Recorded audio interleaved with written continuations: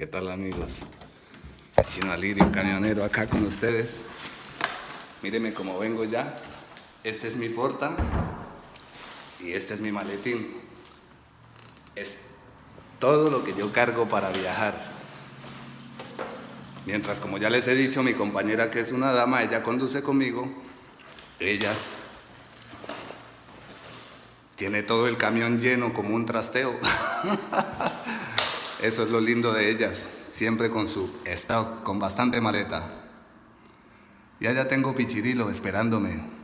Bueno amigos, les comento, yo vivo a más de tres horas de mi trabajo, me gusta vivir lejos y me dispongo a viajar a Portland, Oregon, desde Montreal.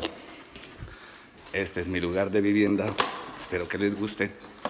Y bueno muchachos, ya mire el correo, no tengo mayor cosa, nadie me escribe, ustedes me tienen abandonado, así que Chino Alirio se va a viajar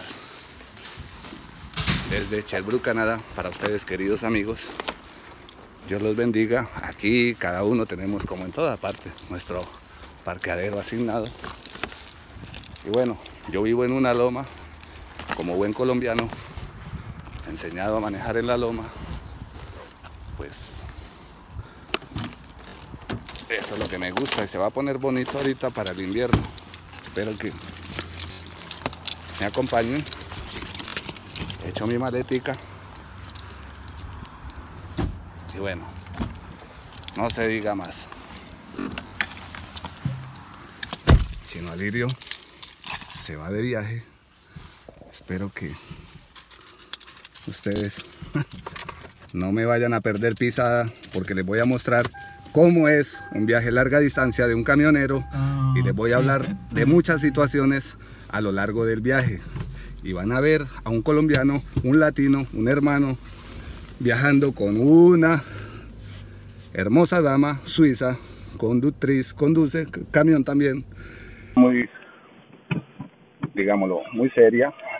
O sea, que no me vayan a poner a decir cositas de como de como de romances ni nada de eso, es simplemente mi colega.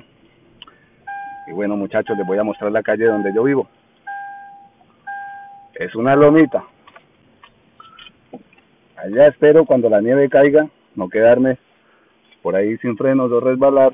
Y de aquí para allá es una gran subida. Saludos desde Sherbrooke, Canadá. Saludos, amigos.